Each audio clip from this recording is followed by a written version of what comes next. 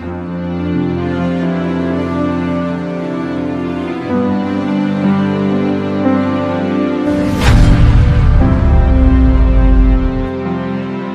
फिर से आपका स्वागत है। मेरा नाम है डॉक्टर दीपक केड़कर मैं मनोविकार, सेक्स रोग, सम्मोहन तथा व्यसन मुक्ति तज्ञों महाराष्ट्र में अकोला में प्रैक्टिस करता हूँ। काफ़ी पेरेंट्स मेरे पास में बच्चों को लेकर आते हैं। बोलते कि बच्चा मानता नहीं है शरारती बहुत हो गया है झूठ बोलता है हमारे से बहुत फ्री नहीं है अकेला अकेला रहना पसंद करता है। इसका कुछ तो भी काउंसिलिंग करो। अब मैं इसके बता, इसके बारे में बताता हूँ कि भाई ये ऐसा होता क्यों देखो बच्चे जब छोटे रहते हैं तब माँ बाप को पूरा बताते हैं। जैसे दो साल का बच्चा है, उसको अच्छी भाषा आना चालू हो जाता है दो साल में। तो जो भी कुछ हुआ, वो बच्चा बोलते जाता है, बोलते जाता है। फिर तीन साल, चार साल, पाँच छः सात, आठ साल का बच्चा हो रहा तब पूरा बताता है एंजॉय करते रहे माँ बाप के साथ में सब शेयर करेगा। स्कूल में क्या हो गया, वो शेयर करेगा। बच्चों में क्या हो गया, वो शेयर करेगा। होता क्या है कि एक आध दिन, स्कूल के बच्चे मतलब दस बारह साल का बच्चा हो जाता है, एक आध दिन वो बच्चे सब बच्चे मिलके स्कूल को बंक मारते और कहीं पेड़ के नीचे जाके कोई फ्रूट्स वगैरह खाते हैं या बेर खाएँगे या कुछ तो भी करेंगे और बंक मारते वो होने के बाद में आके बताएँगे और बताने के बाद में आप उनको डांटेंगे कि स्कूल क्यों नहीं गए? तू अच्छा नहीं तूने अच्छा नहीं किया,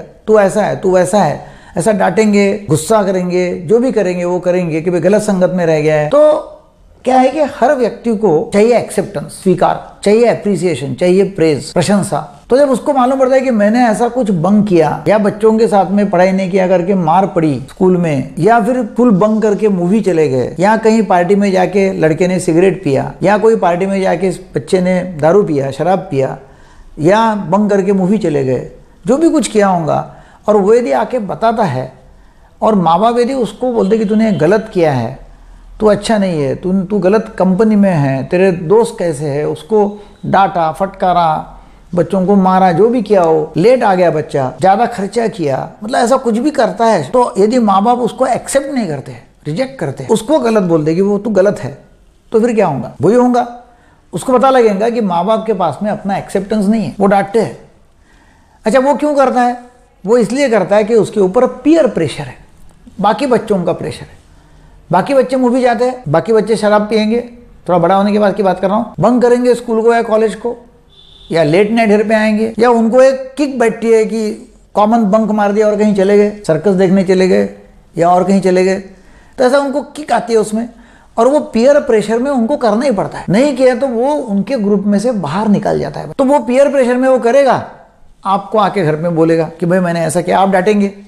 अभी होगा क्या जब उसको डांट पड़ रही है इसके बाद में जब वो पीयर प्रेशर में मतलब बच्चों का दबाव, उसके दोस्तों का दबाव में आके जब वो कोई काम करता है, उसको मालूम है कि ये तो गलत है, मैं घर जाऊँगा तो वो तो डांट पड़ेंगी, मारेंगे, कुछ तो भी करेंगे, इससे अच्छा बताना ही ठीक नहीं। क्या उसने वो करना बंद कर दिया? बिल्कुल नहीं। उसने करना बंद नहीं किया, उसने बोलना बंद किया। आप यदि उसको ये बोल सकते हैं, क्या अच्छा फिर बात यह है कि फिर वो उसने करना मतलब बोलना नहीं, उसको डांटना नहीं, फटकारना नहीं, चिल्लाना नहीं, कुछ नहीं करने का है ऐसा कुछ भी नहीं, ऐसा भी नहीं बोल रहा हूँ मैं। वो आप, वो करते रहता है, मगर वो बोलता नहीं है। इसकी वजह है कि उसको एक्सेप्टेंस नहीं मिलता है। यदि आप, जब वो बोलता है ऐसा तो सबसे पहले ये है कि उसको अनकंडीशनल एक्सेप्टेंस आप देते हो कि ठीक है, तूने जो किया, वो किया। अब उसको, उसके साथ में बातचीत करते हो कि ये क्यों करना पड़ा? प्रेशर में आके करना पड़ा क्या? झूठी सही उसने प्रोग्रेस रिपोर्ट के ऊपर मार दिया। क्यों किया भाई उसने? सही बताता कि मैं फेल हो गया या मार्क कम पड़ गए तो क्या होता था? उसको मालूम है कि मार्क कम पड़ गया फेल हो गया तो बहुत मार पड़ेगी। उससे अच्छा झूठी सही मार के वो प्रोग्रेस रिपोर्ट स्कूल में दे देना अच्छा है। उसको ये मालूम है कि पेरेंट्स एक्सेप्ट नहीं करेंगे। और पेरेंट्स एक्सेप्ट नहीं करेंगे, इसे अच्छा झूठ बोलो और टाइम निकाल लो। और वो टाइम निकालते रहता है। तो हमने क्या करना ज़रूरी है कि जैसा है, वैसा है, जैसा नहीं है, वैसा नहीं है, पहले एक्सेप्टेंस उसके साथ में बातचीत। कि भाई तू अच्छा है, तूने जो किया, वो ठीक नहीं। तेरा जो पियर्स है, तेरे जो पियर्स है, तेरे जो कंपनी है, तेरे जो दोस्त है, वो करते होंगे। और भावनाओं में आके प्रेशर में आके तू ये करेगा, तू अच्छा है, तूने जो किया, वो बुरा है। तूने किया, वो ऐसा नहीं करना क्या कर सकते उसको बताओ? क्या और क्या कर सकते? मगर उसको ये नहीं एहसास होने को ना कि मैं बुरा हूँ, मैं अच्छा नहीं हूँ, मैं गलत हूँ। ऐसा जब उसको एहसास होता है तो फिर उसका बहुत बड़ा मतलब पेमेंट या बहुत बड़ा मतलब नुकसान बड़ा होने के बाद में उसको भुगतना पड़ेगा। तो बेस ये है कि भाई, तू अच्छा है, तूने जो किया वो ठीक नहीं है। तो आप उसको जब अनकंडीशनल एक्सेप्टेंस करते हो अनकंडीशनल बच्चों को स्वीकार कर लेते हो कि जो भी कुछ उसके लाइफ में हो रहा है, उसको स्वीकार करो। बच्चों को ये शर्त रखो कि भाई, जो भी कुछ होगा ना, तूने सच्ची सच्ची बताने का है। तूने सच्ची यदि बता दिया सही सही बता दिया तो हम डांटेंगे नहीं, फटकारेंगे नहीं, मारेंगे नहीं, पिटेंगे नहीं, कुछ नहीं होगा, हम स्वीकार करेंगे। मगर हम यदि ढूंढ के निकालेंगे तो फिर तेरे को उसकी सजा भुगतनी पड़ेगी। तो उसको यह है कि भाई, नहीं, मेरे पेरेंट्स जो है, मेरे पार्टनर है, मेरे को समझ लेते हैं।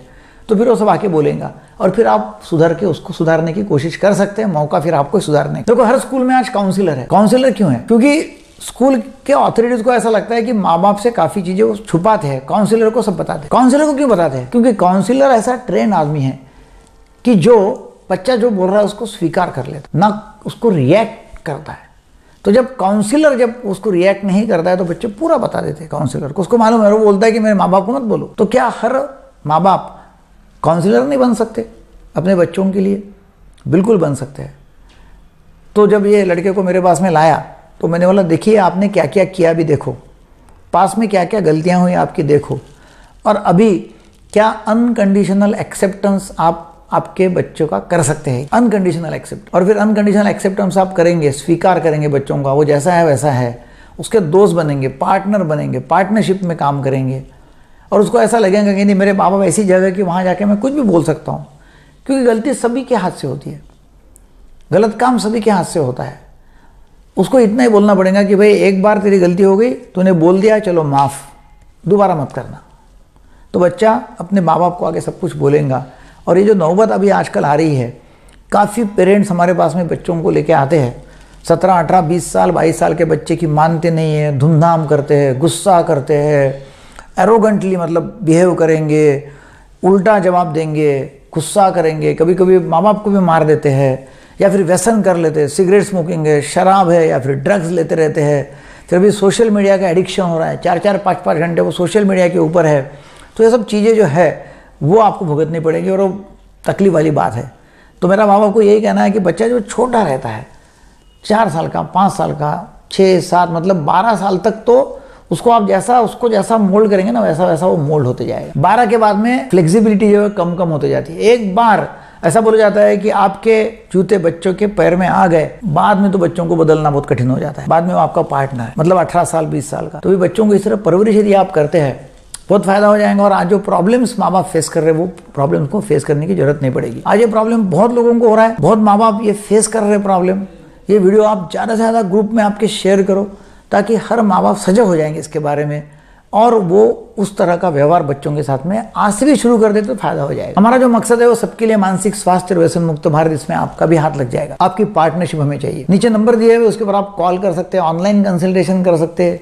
हमारे हॉस्पिटल से उसमें पेशेंट को लाके भर्ती कर सकते हैं, उनका इलाज कर सकते हैं। और हमारा जो है कि मेंटल हेल्थ फॉर ऑल और सबके लिए व्यसन मुक्त भारत मतलब वो जो है, वो हमारा विजन उसमें आपका भी हाथ लग जाएगा। Thank you very much thanks for watching